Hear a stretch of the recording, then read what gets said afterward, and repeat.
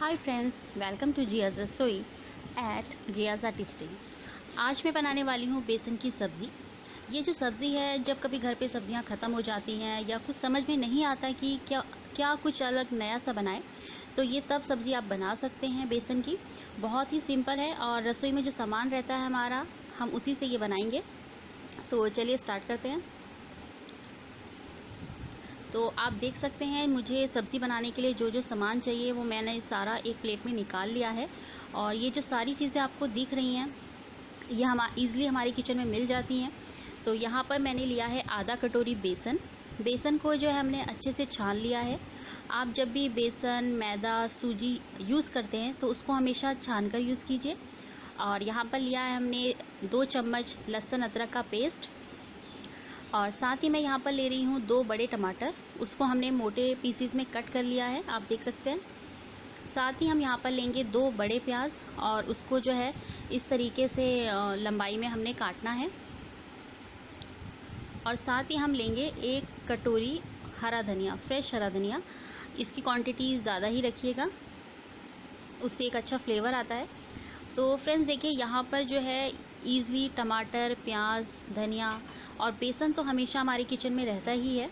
तो ये जो सारी चीज़ें हैं, इसी से हम आज की रेसिपी बनाने वाले हैं, जो बिल्कुल सिंपल भी है और फटाफट से बन भी जाती है और खाने में भी बहुत टेस्टी होती है। तो चलिए स्टार्ट करते हैं इसका सेकंड स्टेप तो आप देख सकते हैं, कढ़ाई में जो है मैंने दो चम्मच मस्टर्ड ऑयल लिया है, जिसको हम सरसों का तेल भी बोलते हैं। तो यहाँ पर तेल थोड़ा सा मैंने ज़्यादा लिया है। तो और अगर आप मस्टर्ड ऑयल यूज़ नहीं करते हैं तो उसकी जगह आप जो भी खाने में अपने ऑयल यूज़ करते हैं, वो ले सकते हैं। और यहाँ पर अब मैं ऑयल गर्म गर्म हो चुका है तो एक चम्मच ज़ीरा और चुटकी भर जो है हम इसमें हींग ऐड कर रहे हैं। फ्रेंड्स हींग जो होती है, वो काफ़ी अच्छी रहती है क्योंकि बेसन हैवी होता है तो यहाँ पर आप हींग ज़रूर डालें। और इसी में अब हम प्याज ऐड कर देते हैं अपना। और ये वाला करछा मैं इसमें ले रही हूँ क्योंकि इसको हम लिक्विड बनाने वाले हैं, इसकी जो ग्रेवी रहेगी तो ये हिलाने में और सब्ज़ी बनाने में इजी रहता है तो ये करछा यूज़ कर रही हूँ मैं यहाँ पर। तो देखिए, प्याज जो है हमारा हल्का सा फ्राई हो चुका है। हमने इसका कलर चेंज नहीं करना है प्याज का। तो मैं अब यहाँ पर प्याज में जो है लहसुन अदरक का पेस्ट ऐड कर रही हूँ, क्योंकि प्याज के साथ ही जो है ये लहसुन अदरक का पेस्ट जो है वो हम इसको भुनेंगे। और अगर आपके पास पेस्ट नहीं है तो आप जो साबुत लहसन रहता है, उसको छील लीजिए और अमाम बस्ता में या चकले बेलन पे हल्का सा कूट लीजिए तो उससे भी एक अच्छा फ्लेवर आएगा। तो यहाँ पर साबुत लहसन यूज़ नहीं करेंगे हम तो लहसुन का पेस्ट बनाकर ही यूज़ करना है। अब यहाँ पर हम, मैं मसाले दिखा रही हूँ आपको। गर्म मसाला है, लाल मिर्च पाउडर है धनिया पाउडर है, हल्दी और नमक जो है हमारे स्वाद के अनुसार है। और बाकी जो मसाले हैं, वो मैंने सब आधा चम्मच ही डाला है इसमें। तो इस मसाले को जो है हम अच्छे से मिला लेते हैं, क्योंकि ऑयल में जो मसाला है अच्छे से भुन जाता है और सब्ज़ी का कलर बहुत अच्छा आता है। तो इसके लिए हम यहाँ पर ही इसको डाल रहे हैं। तो आप देख सकते हैं जो कितना बढ़िया इसका कलर दिखाई दे रहा है। एक मिनट हमने इसको मसाले के साथ पकाना है प्याज को। तो एक मिनट बाद फ्रेंड्स इसमें हम डालेंगे टमाटर। आप देख सकते हैं, टमाटर मैंने मोटे पीसेस में कट किए हैं। बारीक नहीं काटना है टमाटर हमने। और टमाटर को जो है मसाले में अच्छे से मिला लेते हैं इस तरीके से।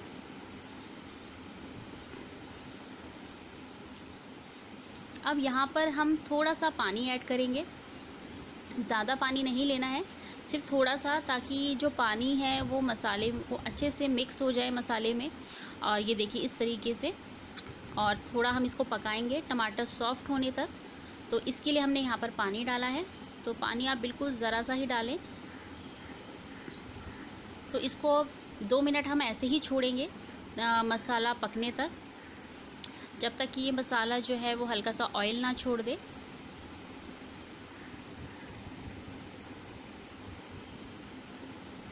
तब तक हम अपना बेसन तैयार कर लेते हैं। तो देखिए, जब तक मसाला बन रहा है, मैंने यहाँ पर जो बेसन था हमारा, उसका मैं घोल बना रही हूँ और ये जो बबल्स दिख रहे हैं इसमें, ये नहीं होने चाहिए। तो उसको अच्छे से फेंट लेते हैं। अगर आप चाहें तो उसको चम्मच से, हाथ से, जिसमें भी, जो भी आपको कंफर्टेबल लगे, उसमें आप बेसन को अच्छे से कट बड़े बाउल में जो है घोल कर, इसका एक अच्छा सा स्मूथ घोल तैयार करना है हमने। तो अच्छे से फेंट लेते हैं इसे। तो देखिए, घोल हमारा तैयार हो चुका है। एक आधा कटोरी बेसन था तो हमने उसमें एक गिलास पानी डालकर उसका घोल बनाया है। और मसाला जो है, वो हमारा तैयार हो गया है। आप देख सकते हैं, बहुत बढ़िया दिख रहा है। एकदम से इसका जो कलर है, वो भी बहुत अच्छा आया है। और अब इस मसाले को हमने बिल्कुल इसको जो है ना, टमाटर जो पीसेस आपको दिख रहे हैं, इसको हमने दबाना नहीं है। मतलब इसको स्मूथ नहीं करना है हमने, क्योंकि हम यहाँ पर जो टमाटर और प्याज के पीसेस हैं, उसको मोटे पीसेस में ही रखेंगे। इसीलिए यहाँ पे हमने उसकी क्वांटिटी ज़्यादा डाली थी। तो यहाँ पर हम थोड़ा सा धनिया ऐड कर देते हैं, क्योंकि मसाले के साथ जब धनिया का फ्लेवर आएगा फ्रेश धनिया का फ्लेवर तो वो सब्ज़ी के स्वाद को और बढ़ा देता है। तो यहाँ पर थोड़ा सा हमने हरा धनिया ऐड कर दिया। और अब यहाँ पर जो है हम बेसन इसमें ऐड करेंगे। जो घोल था हमारा बेसन का, वो डाल देते हैं। और घोल डालने के बाद इन सारी चीज़ों को अच्छे से आपस में मिला देते हैं।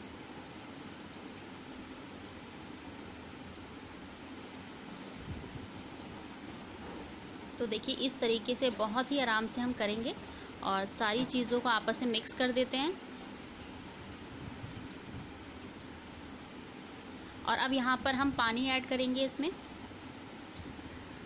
और पानी डालने के बाद इसको जल्दी से मिलाते हैं ताकि इसमें लम्स ना बने, वरना उस सब्ज़ी का जो स्वाद है वो ख़राब हो जाता है।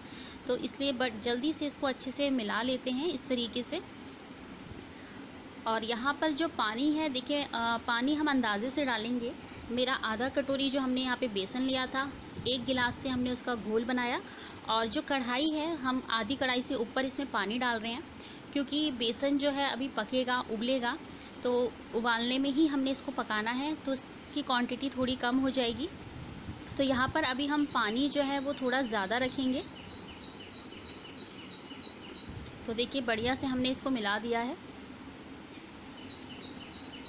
यहाँ पर थोड़ा सा पानी मैं और ऐड कर रही हूँ। तो देखिए सब्ज़ी जो है हमारी बन चुकी है। अब बस इसको उबालना बाकी है तो अब इसमें जब एक उबाल आ जाएगा तो आप गैस को कम कर दें। और कम से कम 20 से 25 मिनट हमने इसको पकाना है। बेसन कच्चा नहीं रहना चाहिए, वरना बहुत नुकसान देता है। तो इसको हम अच्छे से पका लेते हैं और ढक के रखते हैं इसे।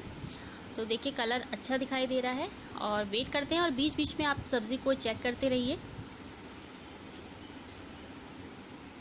तो फ्रेंड्स, सब्ज़ी ये जो टाइम जो है वो 20 से 25 मिनट हो चुका है।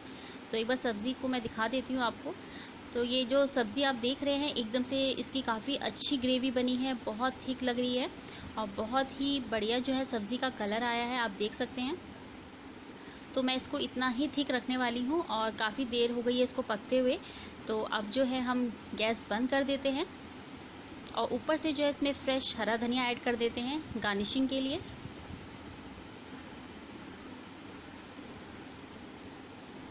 तो इसमें जो हमने लहसुन अदरक डाला था, हींग डाली थी, उस, और धनिया डाला था तो उससे बहुत ही अच्छी इसमें खुशबू आ रही है।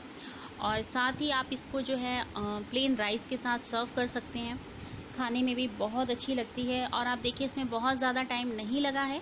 और साथ ही जब कुछ समझ में नहीं आता कि क्या बनाया जाए तो बेसन जैसा हमारी रसोई में रहता है, प्याज, लहसुन टमाटर जो है, वो भी ईज़िली हमें किचन में मिल जाता है। तो इस सब्ज़ी को आप बहुत ही आसान तरीके से और झटपट से बना सकते हैं। और इसको प्लेन राइस के साथ सर्व कीजिए। बहुत अच्छा टेस्ट आता है। साथ में आप अचार ले सकते हैं या चटनी भी ले सकते हैं। तो इस तरीके से आप सब्ज़ी को बनाइए। और जब भी आप बेसन यूज़ करें, मैं इसलिए बार बार बोलती हूँ कि बेसन जो होता है, उसमें हमेशा छान कर ही यूज़ करना चाहिए। ये किचन के छोटे छोटे टिप्स हैं, जो मैं आपको साथ साथ बताती रहती हूँ, ताकि आप भी एक अच्छी कुकिंग कर सकें और अच्छी अच्छी रेसिपीज़ बना सकें। तो देखिए मैं थोड़ा पास से आपको दिखा रही हूँ जो सब्ज़ी की थिकनेस है और जो कलर है। और देखिए, इसका जो कलर है, वो एकदम से चेंज नहीं हुआ है येलो कलर ही है इसका। जबकि हमने इसमें टमाटर भी ऐड किए थे, काफ़ी अच्छा मसाला भी डाला है। तो सब्ज़ी की पहचान यही है कि देखिए, इसका कलर बिल्कुल भी चेंज नहीं हुआ है। जो बेसन का कलर था येलो कलर वो इसमें दिखाई दे रहा है, जिसकी वजह से ये और भी सुंदर लग रही है और खाने में भी बहुत टेस्टी है ये। तो आप इस सब्ज़ी को ज़रूर ट्राई कीजिए। और मुझे इन बॉक्स में कमेंट्स ज़रूर कीजिएगा कि आपको मेरी ये रेसिपी कैसी लगी। और इसी तरीके से बेसन की एक सब्ज़ी मैंने आपके साथ ऑलरेडी शेयर की हुई है पहले। उसको हम बेसन के डुबके बोलते